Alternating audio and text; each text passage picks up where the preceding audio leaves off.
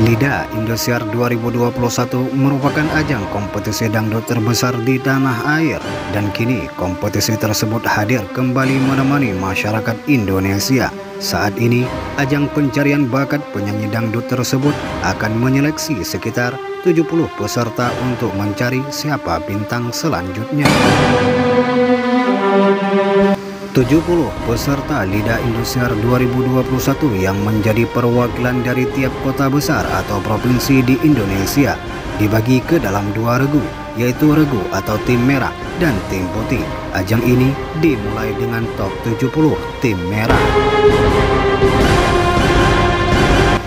Perhelatan LIDA 2021 kali ini tak kalah seru dengan kompetisi-kompetisi tahun sebelumnya deretan juri ternama yang juga penyanyi dangdut terpopuler tanah air yang siap mencari bintang baru lewat ajang ini seperti Soimah, Inul Daratista, Dewi Persik, Nasar, Lesti, Fildan, Reza, dan beberapa penyanyi top lainnya.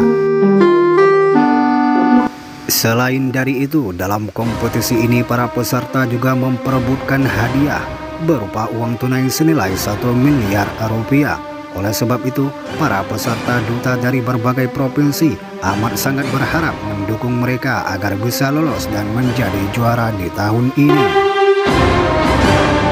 LIDA 2021 kali ini juga diisi oleh host-host terbaru seperti Rizky Bilar dan Ruben Onsu. Tahun sebelumnya, kompetisi ini hanya dipandu oleh Irfan Hakim, Gilang Dirga, Ramzi, Rara, dan Jirayu namun tahun ini ada perbedaan yaitu penambahan perahos yang bernama Rizky Bilar dan Ruben Onsu.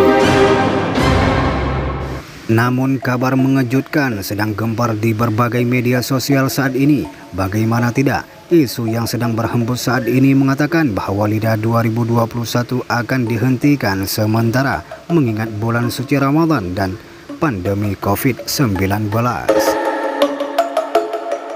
Meskipun demikian, tak sedikit yang mengatakan bahwa kabar tersebut hanyalah hoaks semata karena isu itu tidak ada kejelasan dan dasarnya. Pihak Indosiar pun belum mengatakan bahwa ajang tersebut akan dihentikan di bulan Ramadan ini. Namun yang pastinya kompetisi Lidah Indosiar 2021 masih berjalan dan aktif seperti biasanya. Adapun kabar tentang bahwa LIDA 2021 akan dihentikan hanyalah hoaks semata. Begitulah informasinya. Jika ada kesalahan kami minta maaf. Kami akhiri Assalamualaikum warahmatullahi wabarakatuh.